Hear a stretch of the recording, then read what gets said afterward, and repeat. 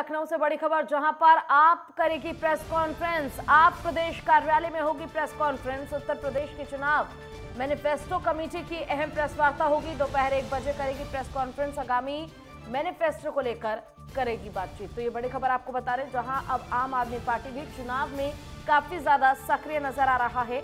आपको बताते चले कि आम आदमी पार्टी की ओर से आज प्रेस कॉन्फ्रेंस की जाएगी, जिसमें कि आने वाले उत्तर प्रदेश के चुनाव में मैनिफेस्टो कमेटी की अहम प्रेस वार्ता होगी। दोपहर एक बजे ये प्रेस कॉन्फ्रेंस होगी।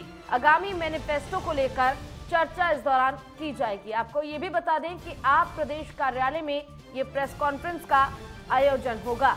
तो आज का ये प्रेस कॉन्फ्रेंस काफ़ी ज़्यादा महत्वपूर्ण माना जा रहा है क्योंकि आम आदमी पार्टी की ओर से उत्तर प्रदेश के चुनाव को लेकर मैनिफेस्टो जारी किया जाएगा। आपको बताते चले कि प्रदेश कार्यालय जो है आप, आम आदमी पार्टी का, उसमें ये प्रेस कॉन्फ्रेंस का आयोजन होगा। दोपहर एक बजे प्रेस कॉन्फ्रेंस का आयोजन किया जाएगा। आगामी मैनिफेस्टो को लेकर बातचीत करेंगे। तो लखनऊ से बड़ी खबर आपको बता रहे जहाँ आप करेगी प्रेस कॉन्फ्रेंस। आपको बता दें कि अब चुनाव को कुछ ही समय बच गया है और ऐसे में आम आदमी पार्टी भी उत्तर प्रदेश के साथ साथ पाँच राज्यों में जहाँ पर चुनाव होने हैं, उन सभी राज्यों में काफ़ी ज़्यादा सक्रिय नज़र आ रहे हैं।